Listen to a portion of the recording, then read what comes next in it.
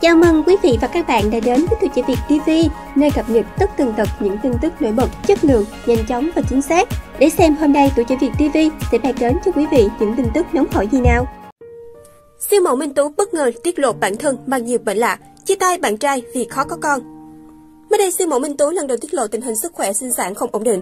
Cách đây 2 năm, cô được bác sĩ chẩn đoán có dấu hiệu bệnh lạc nội mạc tử cung, tinh thần của cô bất ổn sau lần đi khám tổng quát. Bác sĩ nói người bệnh khả năng cao mang thai ngoài tử cung, thụ thai khó. Đón nhận tin này, người phụ nữ 30 tuổi như tôi rất buồn vì tôi thích em bé.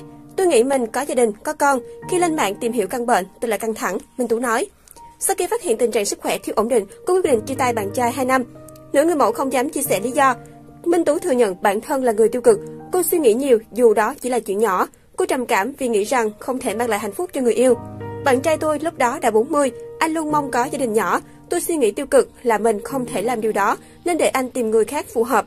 Nhưng thời gian sau, khi tôi chia sẻ lý do, anh sẵn sàng chấp nhận và nói chúng tôi có thể nhận con nuôi, Minh Tú nói. Trong podcast, Minh Tú còn tiết lộ cô có nhiều bệnh. Cô kể, lúc còn trẻ tôi bị nhược thị, hở van tim, hai lá phổi không đều.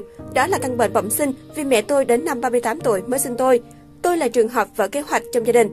Khi lớn lên, những điều này cũng ảnh hưởng đến sinh hoạt của tôi. Tôi không thể vận động quá mạnh, dễ bị mệt, khó thở, không nhìn rõ. Riêng nhược thị không chữa được, tôi lúc nào cũng phải đeo kính áp tròng, Minh Tú chia tâm sự. Đến tuổi lập gia đình, tôi quyết định đi khám nhưng phát hiện mình có biểu hiện của bệnh lạc nội mạc tử cung. Bác sĩ cho biết người bệnh có khả năng mang thai ngoài tử cung rất cao, thụ thai khó. Đón nhận tin đó, tôi rất buồn vì tôi rất thích em bé. Tôi cũng từng nghĩ mình sẽ có gia đình, có con. Tôi bắt đầu stress và nghĩ đến việc không lập gia đình.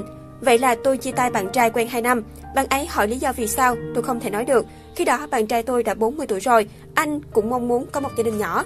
Lúc đó tôi nghĩ mình không thể làm được điều này nên để anh tìm người khác phù hợp hơn. Sau thời gian trao đổi, anh ấy rất dễ thương. Anh nói sẵn sàng chấp nhận điều đó và chúng tôi có thể nhận con nuôi, cô nói thêm. Bạn trai hiện tại của Minh Tú tên Chris, người Đức, sống và làm việc ở châu Á hơn 15 năm. Anh và Minh Tú quen nhau năm 2011 và hẹn hò một năm sau đó. Thời gian yêu, họ từng nhiều lần rạn nứt và hàn gắn lại. Minh Tú sinh năm 1991 là người mẫu nổi tiếng của Việt Nam. Cô giành giải bạc siêu mẫu Việt Nam 2013, giải nhì Asian Nature Model 2017 cùng danh hiệu Miss National Asia 2018. Tên tuổi của Minh Tú được biết đến nhiều hơn sau khi làm huấn luyện viên cho chương trình The Play. Cô cũng được khen là người đào tạo mát tay khi huấn luyện nhiều hoa hậu đạt thành công, trong đó có Hoa hậu Hòa bình quốc tế 2021 Nguyễn Thúc Thùy Tiên.